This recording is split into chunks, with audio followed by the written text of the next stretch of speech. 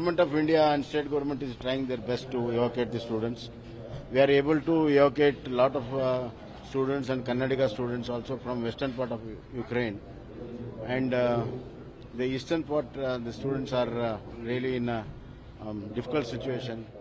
I've been in touch with uh, Union uh, External Affairs Secretary, ministers, and uh, our nodal officer Manoj is in touch with the embassy.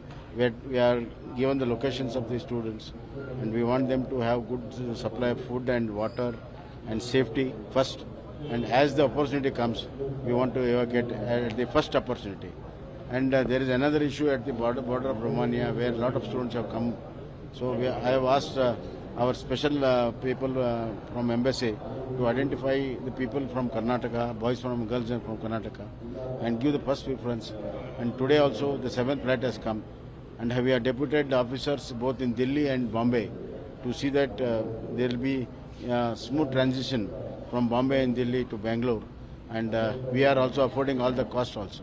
So we are Punjab ਤੇ ਪੰਜਾਬੀਅਤ ਦਾ ਪਰਛਾਵਾਂ ਪੰਜਾਬੀ ਸਾਡੀਆਂ ਬਾਵਾਂ ABP ਸਾਂਝਾ ਹੁਣ ਦੇਖੋ ਆਪਣੇ TV screen ਤੇ ਟਾਟਾ ਪਲੇ ਚੈਨਲ ਨੰਬਰ 1929 ਤੇ एबीपी साझा देखने लाई। अपने केबल ऑपरेटर नज ही संपर्क करो। एबीपी साझा जोश, जज्बा, जुनून।